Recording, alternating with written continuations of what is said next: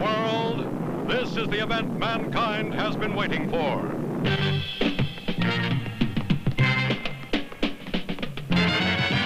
That risque rascal, that far-out feline. Fritz the cat is back.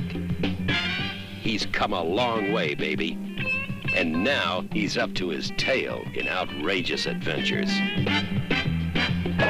In the nine lives of Fritz the cat.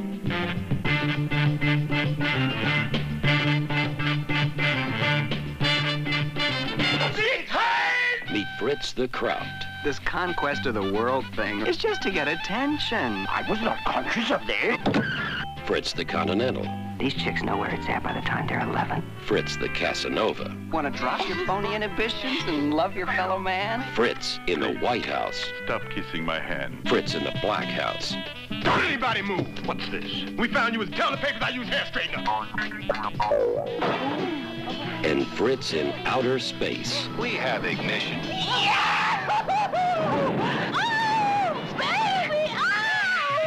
You'll meet Morris. It's tough to find that good pickle. Duke. Fritz, you ain't changed a bit.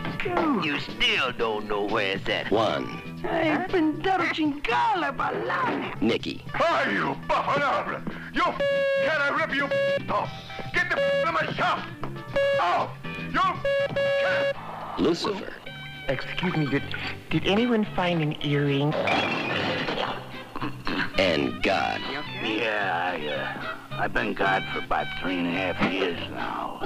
We interrupt this telecast for a message of real importance. I decided that I just wanted to be a prostitute. It's nine times as funny, nine times as freaky, nine times as funky. It's disgusting. Oh. How dare you? You got no class, man. As fabulous Fritz out Fritzes himself in the nine lives of Fritz the cat.